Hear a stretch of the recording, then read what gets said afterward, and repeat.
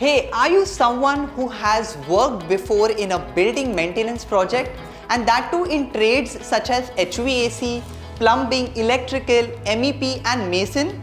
If yes, then watch this video till the end because in this video we have got you a great job opportunity from the United Arab Emirates. Great because this job opportunity is a complete free recruitment. That means you don't have to pay any charges. So without any further delay, let's get started.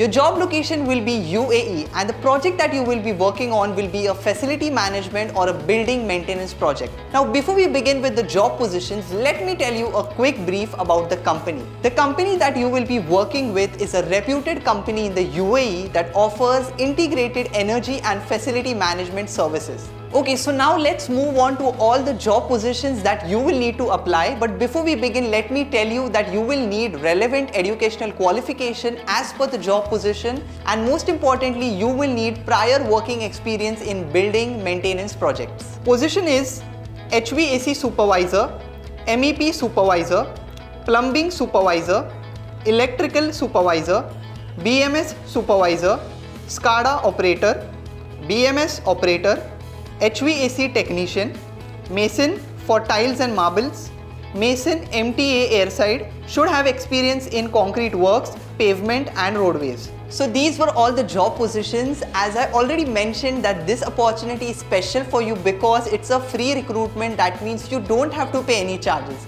But with this free recruitment, there is also something you need to be aware of and that is the salary that will be offered to you. Your salary is negotiable and will be decided as per your experience and expertise. Along with salary, company is also providing you with some exceptional benefits. What are they? Let's have a look. Food allowance, free accommodation, free transportation, medical insurance facility, paid leaves and overtime benefits as per the UAE labor law.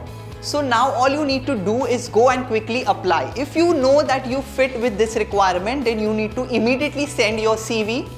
The shortlisting process has already started at ASMACS at their Kochi office.